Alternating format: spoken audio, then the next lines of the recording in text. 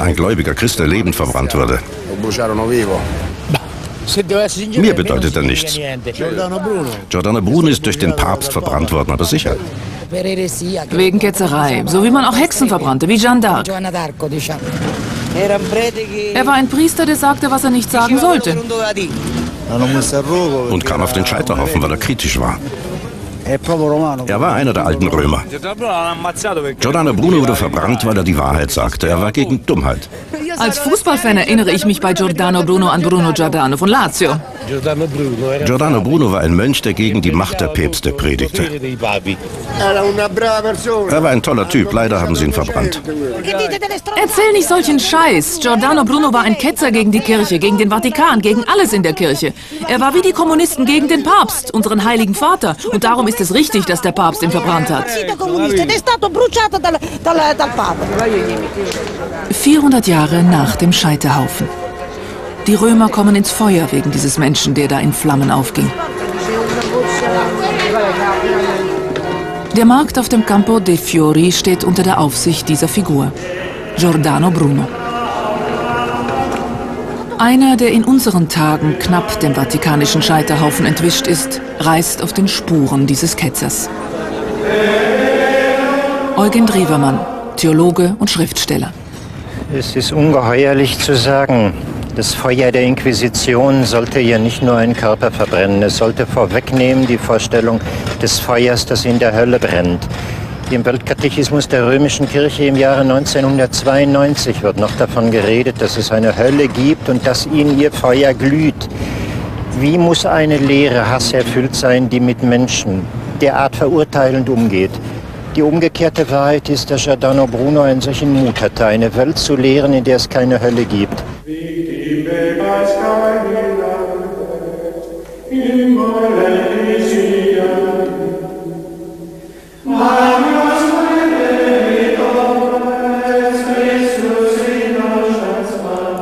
Den Scheiterhaufen hat ein Papst zu verantworten. Der Papst, hier beim Rapport mit den Schweizer Bischöfen, hat sich noch nie für die Hinrichtung von Giordano Bruno entschuldigt. Eugen Drewermann möchte Giordano Bruno rehabilitieren. Als aufmüpfiger Theologe gerät er aber selbst in Schwierigkeiten. Der Vatikan hat ihm Lehrerlaubnis und Priesteramt entzogen. Ich bin erstaunt, mit wie viel Pomp und Macht als ein Kirchenmonarch der Papst sich feiern lässt.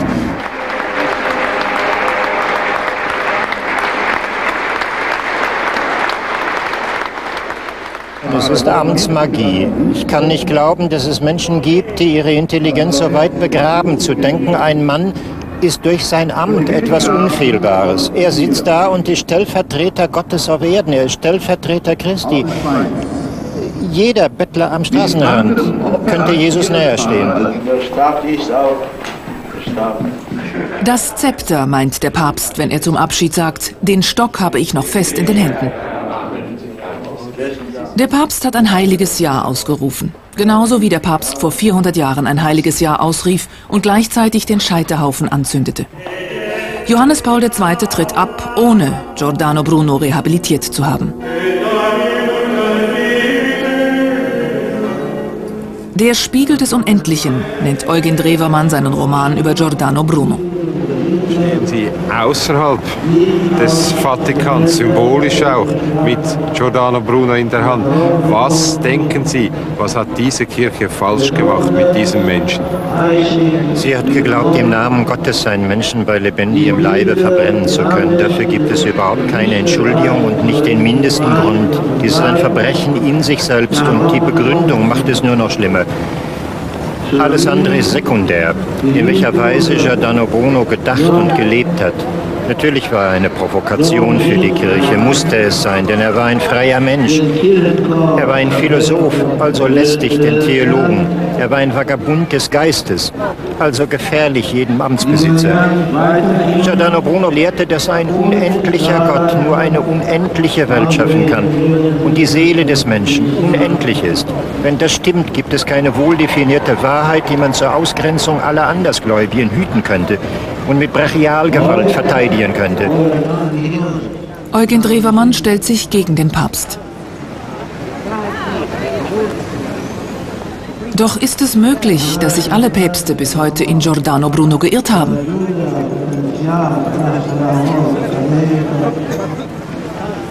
Man hat auf dem Stufen von St. Peter geistig Bruno verbrennen wollen, nachdem man ihn physisch ermordet hat auf dem Campo di Fiori. Man hat erklärt, dass jeder, der seine Bücher lesen wird, unter Kirchenstrafe steht. Man hat bis 1965 den Index der verbotenen Bücher gehalten, wo alle Bücher Giordano Brunos drauf standen. Im Übrigen alles, was sonst in der Neuzeit verdient, gelesen zu werden, von Immanuel Kant bis Jean-Paul Sartre. Bruno ist in Ehren, indem man ihn auf diesen unsinnigen Apparat der Verurteilung gehoben hat.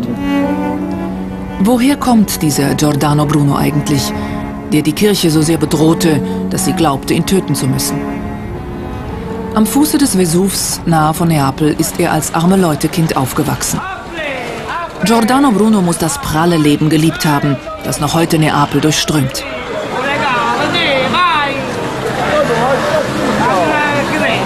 Oh, pesce! Napoletano! Menschenfischer wollte er werden. So ging Giordano Bruno ins Kloster, wurde Priester. Würde Giordano Bruno heute leben, wäre er so konsequent in seiner Tierliebe, dass auch er Vegetarier geworden wäre. Das jedenfalls glaubt sein alter Ego, Eugen Drewermann. Giordano Bruno hat Neapel geliebt, der Ort, an dem er mit 14 Jahren zur Schule ging und mit 18 Jahren in den Dominikanerorden eingetreten ist, später Priester wurde. Die Landschaft, die Verwurzelung mit der italienischen Kultur, auch der Katholizismus als Teil der Folklore lebte ihm im Blut. Und er hat bei all seiner Flucht durch ganz Europa sich immer wieder zurückgesehnt nach Italien. An jeder Straßenecke brennt ein Purgatorio, wie die Neapolitaner ihre kleinen Fegefeuer nennen. Sie haben einen ganz praktischen Umgang mit ihm. Sie pflegen diese kleinen Altäre liebevoll im Gedenken an ihre Verstorbenen. Diese wiederum sollen im Jenseits ihrerseits ein gutes Wort für die Hinterbliebenen einlegen. Sodass sie auf Erden eine Arbeitsstelle finden, einen Volltreffer im Lotto ziehen oder ganz einfach Glück in der Liebe haben. Manche vermuten, dass es eine Episode im Leben des 24-jährigen Felipe Giordano Bruno gibt, wo er eine verheiratete Frau in Neapel sehr lieb gewonnen hat, die ihn vielleicht zum Mann gemacht hat. Wir wissen darüber so gut wie nichts, aus einer ganz kleinen Bemerkung. Aber dass Giordano Bruno ein Suchender nach Liebe war, das ist ohne Zweifel. Er hat im neapolitanischen Dialekt geschrieben. Wenn wir seine Komödie lesen, verstehen wir nicht viel davon. Aber ein Philosoph aus der Stadt unten hat mir geraten, lies, lies, lies. Auch wenn du nicht alles verstehst, das Große bleibt dir. Was Kunst ist, wirst du verstehen. In Candelaio wird versucht äh, zu zeigen, wie die Liebe bis zum Zynischen und Absurden gehen kann. Es ist ein dionysisches Stück, voller Sauereien im Übrigen. Aber der Gesang der Circe ist das alte Aktaeon-Thema. Liebe und Erkenntnis müssen eine Einheit bilden. Was bedeutet Giordano Bruno heutzutage? Für mich persönlich ist er ein früher Revolutionär. Ein erster Revolutionär?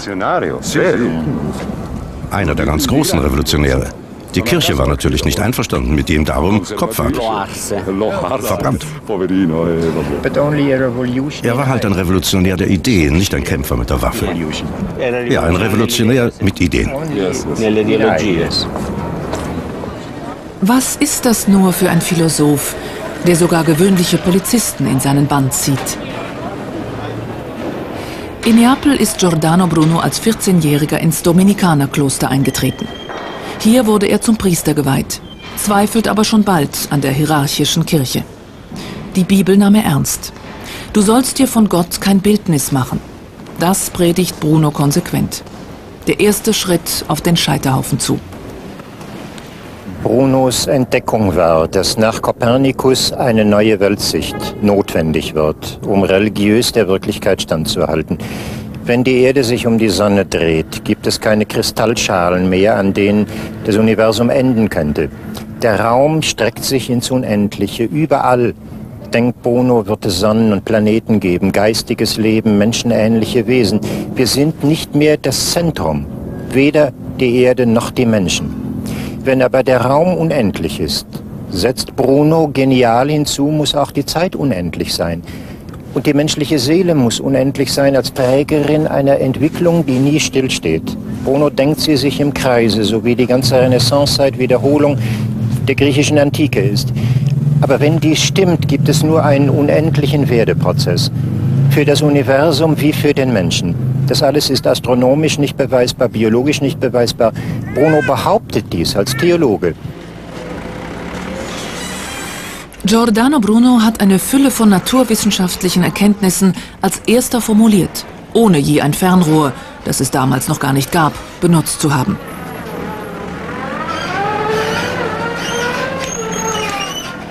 Freimaurer haben vor 110 Jahren hier zu seinen Ehren ein Denkmal aufgestellt. Giordano Bruno entdeckte als erster die polare Abplattung der Erde und wies 20 Jahre vor Galilei auf die Achsendrehung der Sonne hin. Ich glaube, die wenigsten, die hierher kommen, können mit Giordano Bruno und seiner Lehre etwas anfangen. Aber die Fragen sind geblieben. Jedes Kind mit 14 Jahren lernt heute in Physik, in Chemie, in Erdkunde ein anderes Bild von der Welt, als die Kirche es vermittelt. Und allein dieser Widerspruch schafft in den Köpfen der heranwachsenden Generation immer neu Atheismus. Man geht aus von einem Gott der Liebe, der Macht und der Güte. Und man erlebt eine Welt voller Ohnmacht, voller Grausamkeiten und voller Absurditäten. Bruno als Lehrer ist im Grunde die Ursache seiner Verurteilung. Er war als Lehrer brillant, sagen seine Zeitgenossen. Tatsächlich aber gibt es nur einen einzigen Ort, wo er akademisch eine gewisse Weile hat lehren und sich entfalten dürfen. Das war das protestantische Wittenberg der Reformationstage. Giordano Bruno lehrte in einer Welt, die sich noch in jeder Hinsicht als Mittelpunkt verstand. Seine Ansicht vom Universum war für die Kirche Gotteslästerung. Nikolaus Kopernikus legte den Grundstein zur modernen Weltanschauung und wurde sogleich von Bruno überwunden. Nicht mehr um die Erde drehte sich alles, sondern die Erde drehte sich um die Sonne das war für die Herrschenden, wie wenn sich die Knechte nicht mehr um die Herren drehen würden.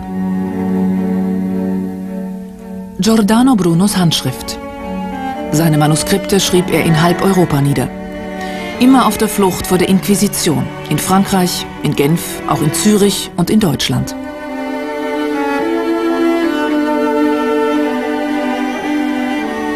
Giordano Brunos Eintrag bei seinem Abschied von Wittenberg im Jahr 1588. Quid est quod est. Was geschehen ist, wird wieder geschehen. Was getan wurde, wird wieder getan. Es gibt nichts Neues unter der Sonne.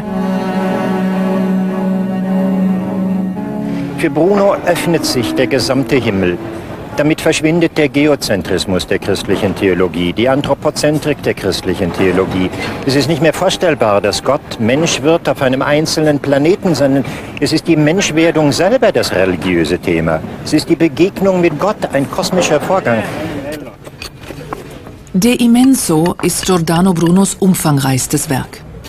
Es ist der visionäre Entwurf einer als unendlich gedachten Welt, in der es nichts Totes oder Leeres gibt. In Venedig wird Bruno durch die Inquisition verhaftet.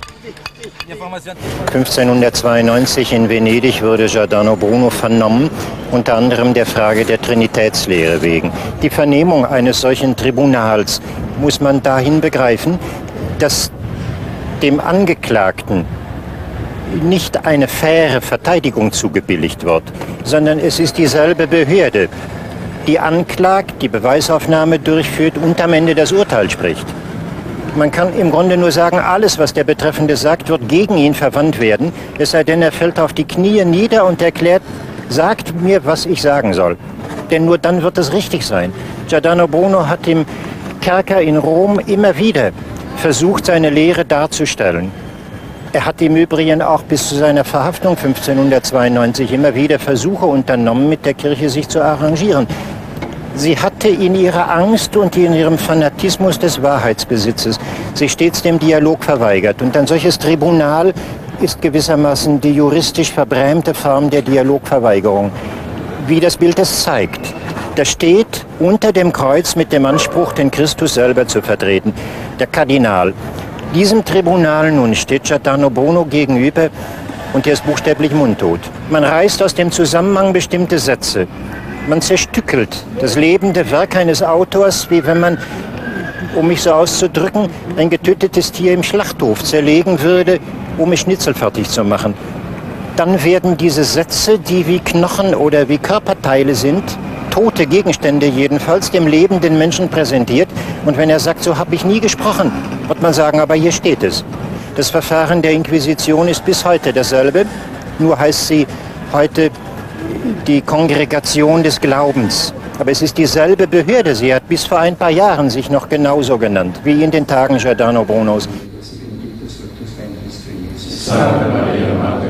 Schweizer Bischöfe beim Chef der Vatikanischen Glaubenskongregation.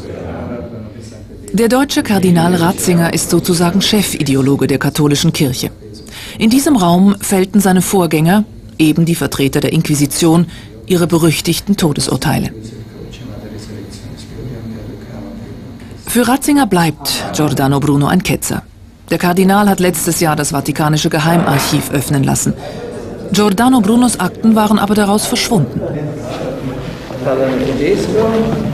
Ich bin schon viel zu viel fotografiert, ich habe ja. schon gar kein Gesicht mehr. Ratzinger sagt sogar dem Papst, was rechtens ist. Noch heute ist Giordano Bruno ein rotes Tuch. Immerhin hat Ratzinger veranlasst, Galilei zu rehabilitieren. Schließlich hat Galileo Galilei seinen angeblichen Irrtümern abgeschworen. Mit Galilei hätte die römische Kirche leben können. Er hat die moderne Mechanik, die moderne Physik, die Kombination von Experiment und Mathematik erfunden. Giordano Bruno hat als Philosoph die Astronomie umgewandelt in das Geschehen einer unendlichen Offenbarung des Göttlichen.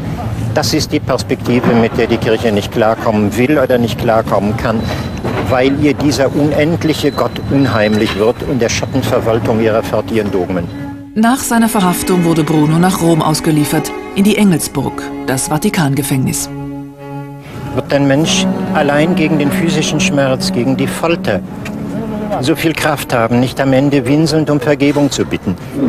Ich kann nur wünschen, dass die Menschen Mut bekommen, denselben, den Giordano Bruno auch gehabt hat. Giuliano Materenzi verlas das Urteil und Giordano Bruno wird uns überliefert, hat ihm entgegengeschleudert. Majori forsan cum timore sententiam in me fertis quam ego abcipiam.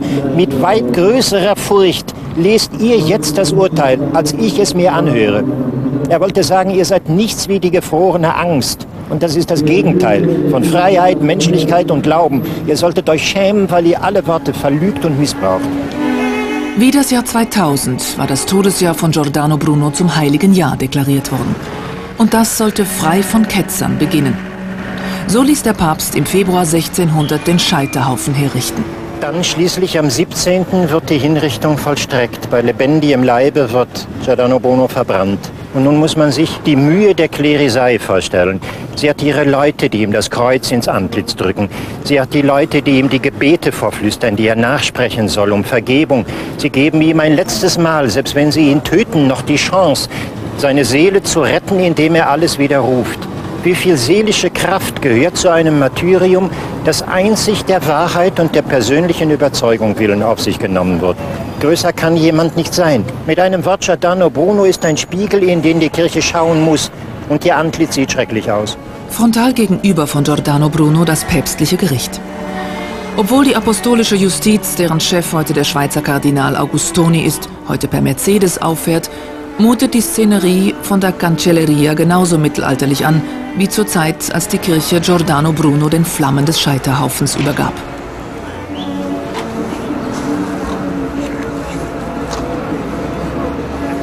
Eigentlich hätte der Scheiterhaufen an Silvester 1599 brennen sollen. Doch zu diesem Zeitpunkt waren noch nicht alle kirchlichen Würdenträger zum Heiligen Jahr eingetroffen. Da drüben ist das Vatikanische Gericht. Damals, als sie Giordano Bruno auf den Scheiterhaufen brachten, haben sie da einen Balkon anbringen lassen. 50 Kardinäle beobachteten von dort aus das Spektakel. Man sieht nämlich von da sehr gut auf den Platz, wo Giordano Bruno verbrannt wurde di quell'angolo lì dove è stato bruciato Giordano Bruno.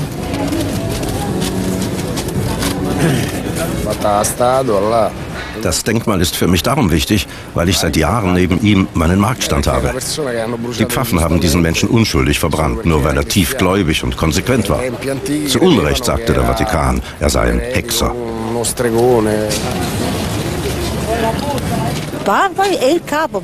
Der Papst ist der Chef, denn er wurde durch den Heiligen Geist eingesetzt. Nur der Heilige Geist kann sagen, wer Papst ist.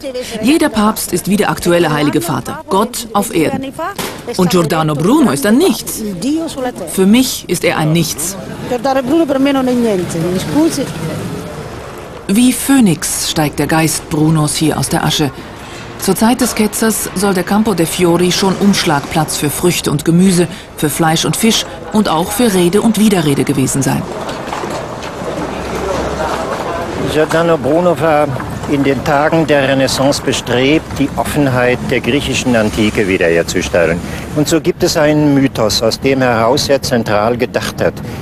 Die Griechen erzählten davon, dass der Jäger Aktaion eines Tages an eine Quelle kam, in welcher die Göttin der Jagd, Artemis, badete. Sie war so schön, dass bei ihrem Anblick Aktaion sich verwandelte in einen Hirschen und seine eigenen Jagdhunde fielen über ihn her und zerrissen ihn. Für Giordano Bruno wurde dieser Mythos zu einem Vorbild des tragischen Scheiterns des Menschen bei der Suche um Erkenntnis. Kein Mensch wird irgendetwas erkennen wollen, außer er hätte es lieb. Und es ist die Liebe, die den Intellekt vorantreibt und ihn begierig macht, erkennen zu wollen. Je mehr aber ein Mensch auch nur einen anderen Menschen begreift oder eine Wahrheit des Kosmos oder etwas vom Saume des Gewandes des Göttlichen, wird man merken, dass es ins Unendliche weitergeht. Jede Erkenntnis hat ihr eigenes Scheitern in sich. So wie Giordano Bruno erlitten im Mittelalter Tausende den Feuertod. Heute sind die Methoden gegenüber Andersdenkenden subtiler. Auch Eugen Drewermann ist ein anderes Denkender. Ihm hat die Kirche Lehrerlaubnis und Priesteramt entzogen. Ich bin mit der römischen Kirche in Konflikt geraten, weil ich Menschen helfen wollte. Ich wollte Psychotherapie und Seelsorge zusammenbringen, das Unbewusste, das Bewusstsein, Dichtung und Rede von Gott zur Einheit machen. Kurz, ich wollte so von Gott reden, dass es alle verstehen. An dieser Stelle der Universalität des Religiösen begegnet man Giordano Bruno wieder. Wie jedes Ketzerdenkmal in Rom blickt auch Giordano Bruno hinüber zum Vatikan. Tag und Nacht soll die Kirche an ihre Verbrechen erinnert werden.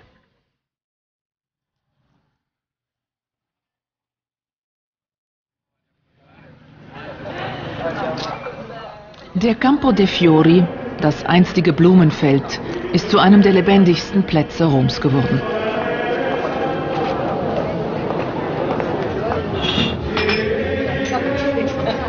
Auch in der Kaffeebar neben dem ehemaligen Scheiterhaufen ist Giordano Bruno ein Thema. Und das nicht nur bei den Touristen. Er ist einer der wichtigsten Persönlichkeiten in unserer Stadt. Und er war auch der Erste, der sagte, dass der Mensch nicht allein ist im Universum. Als Märtyrer hat er gezeigt, dass man die Würde des Menschen nicht vernichten kann. Der Mensch ist mächtiger als die Gesetze. Freiheit ist das höchste Gut. Er ist heute noch ein Problem für die Kirche. Das Denkmal ist ein antiklerikales Symbol. Die Kirche hat Giordano Bruno auf dem Gewissen, sie hat den Scheiterhaufen angezündet. Der Vatikan ist immer noch gegen ihn. Für das jetzige heilige Jahr wollten sie das Denkmal vom Platz schaffen. Tatsächlich intervenierte die Kirche. Sie wollte den Millionen katholischen Pilgern keinen Freidenker zumuten. Doch die Stadt Rom restaurierte das Denkmal, das damals schon gegen den Willen des Vatikans aufgestellt wurde. Man wollte mit diesem Denkmal ein Fanal setzen gegen die Unterdrückung des Geistes, des Fühlens und des Lebens. Ein Fanal auch zugunsten der Freiheit von Forschung und Wissenschaft. Man wollte nicht ständig die Dreinrede der Kirche in Dinge, die sie nicht verstehen will, ganz offensichtlich. Als man dieses Denkmal entweihte, hatte die römische Kirche nach fast 300 Jahren ihres Justizmordes und Verbrechens an Giordano Bruno Gelegenheit zu reagieren. Sie hätte sagen können, mindestens, es tut uns bitter leid. Damals regierte Leo XIII. Er gilt in der Geschichte der Päpste für einen der weisesten unter ihresgleichen. Er war ein Sozialreformer. Er begann sein Amt mit der Erklärung, er werde so viel ändern, dass kein Nachfolger mehr seine Veränderung werde rückgängig machen können. Dieser Papst also erklärte betend auf den Stufen von St. Peter, Giordano Bruno habe für die Wissenschaft nichts bedeutet, Giordano Bruno sei nicht getrieben worden von Wahrheitssuche und Leidenschaft für das Göttliche, sondern von privatem Ehrgeiz. Er sei ein durch und durch verlogener Charakter. Mit anderen Worten, 300 Jahre danach nimmt die römische Kirche sich das Recht, nicht nur zu behaupten, sie habe Recht gehabt, als sie Giordano Bruno bei lebendigem Leibe verbrannte, sondern sie verbrennt ihn moralisch ein zweites Mal. Diese Kirche, die 300 Jahre lang in der Neuzeit die Freiheit der Forschung unterdrückt zugunsten ihres Dogmatismus, erklärt, dass Bruno für die Wissenschaft ein Nichts war. 400 Jahre nach dem vatikanischen Justizmord wartet Giordano Bruno immer noch auf eine Rehabilitierung durch den Stellvertreter Gottes.